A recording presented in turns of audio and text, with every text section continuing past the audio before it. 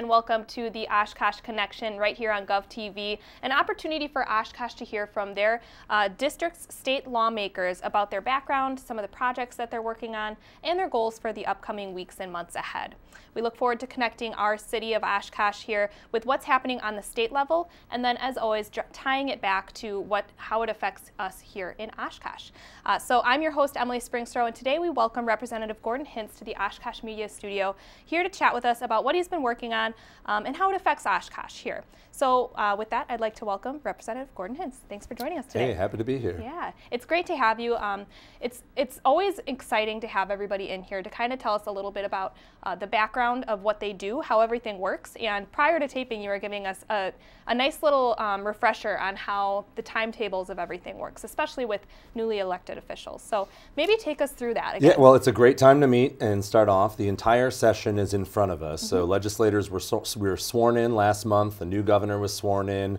Um, and you know the legislative session goes into next spring overall. So everything that we have an opportunity to do um, is before us. The big thing that happens now is the state budget. The governor is going to introduce that on February 28th, and then that will be debated. Uh, who knows how long? We have divided government, but um, that's the big thing that people to pay attention to: school funding, roads, prisons, universities, um, Badger Care. So you know uh, the big stuff that usually has an impact on people's lives um, and Oshkosh. Definitely, and it's been going pretty well so far, even though we're you know very shortly into it right now. Um, would you say it's been a positive uh, experience? Well, uh, the beginning is so you always hit reset. Um, obviously, there was some frustration over what took place in December when they kind of changed some of the powers, and I think that um, will have a negative impact for some time to come. But Governor Evers, I think, has struck the right tone, and um, you know everybody wants to try to find a way to work together. I mean, the problems don't go away if you can't deal with them. Right,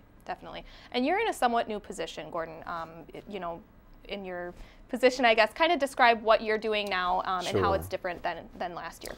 So in the middle of last session, um, I became uh, the Assembly Democratic leader. Uh, so just like the minority leader in Washington, D.C., or um, if we were in the majority, I guess I would be Speaker. Um, I sort of uh, herd cats, um, organize the uh, Democrats, work with the Speaker's office, uh, try to advocate, try to you know steer us through the legislative process.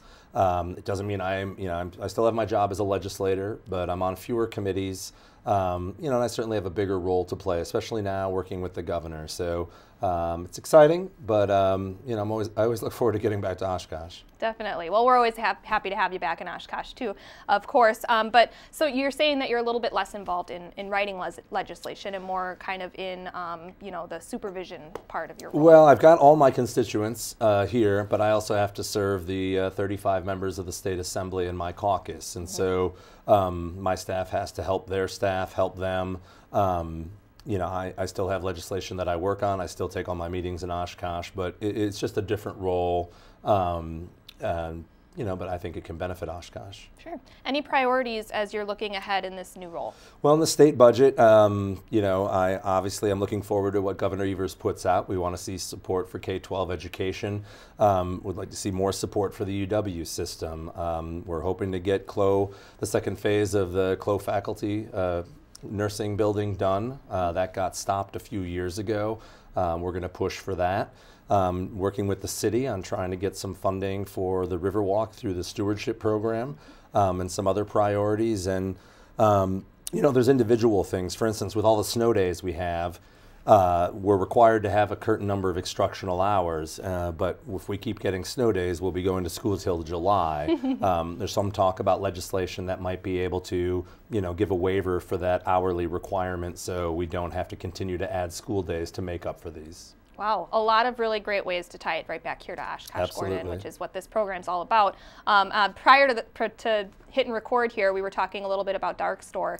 Um, any updates um, on your end that you can Yeah, and I, I, should have mentioned it because last week uh, Governor Evers announced he was going to include the fix uh, to the dark store problem that we've seen. Again, this is where um, you know big box national retailers have been using vacant buildings to uh, make their assessment values, you know, based on. So uh, what that has meant is the tax burden has shifted to residential and small business property owners to make up for the difference in these lower assessments for um, buildings and businesses that use our services, if not more than normal people. Um, and it's, it's really been a problem and continues to be a problem. So we've got bipartisan support. Governor Evers is putting it in the budget, and not acting is making a decision, and that's not on the side of, of property taxpayers. So hopefully we'll get it fixed. Excellent. Um, wonderful update on that too. You mentioned the budget and the new governor.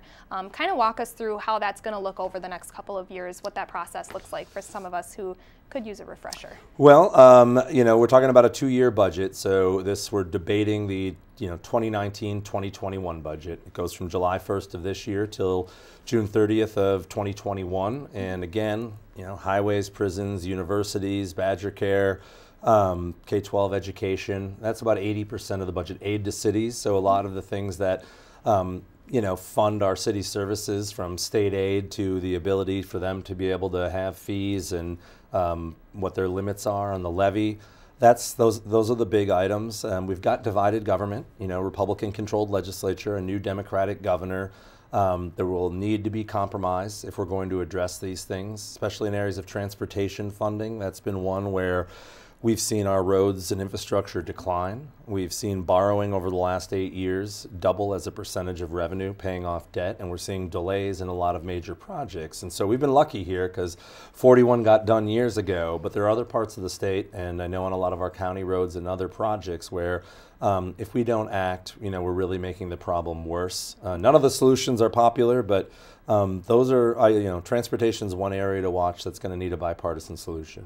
Definitely. So a lot of um, priorities moving forward with the budget um, and things that we can kind of keep an eye out for as the process moves forward. Absolutely. Excellent. Um, and you are Oshkosh's representative. this is your district. Um, so I always try to end out the program or the segment with um, what are your main priorities to kind of keep Oshkosh moving along and uh, keeping Oshkosh a priority in the decisions that you're making. Yeah. so I mean, you know, I'm, I'm, I'm in touch regularly with the city, the county, the school district, the university, the technical college, since those are sort of big entities and state decisions impact their funding, impact their ability to do things. And most people that get elected to the council or the school board will express their frustration because they get there and they realize the state dictates or, you know, uh, makes their job harder or uh, it moves slower than they need to to give them the flexibility. I would like to see us restore some power and local control to give them the resources to be able to invest in quality of life, uh, to inv invest in our services,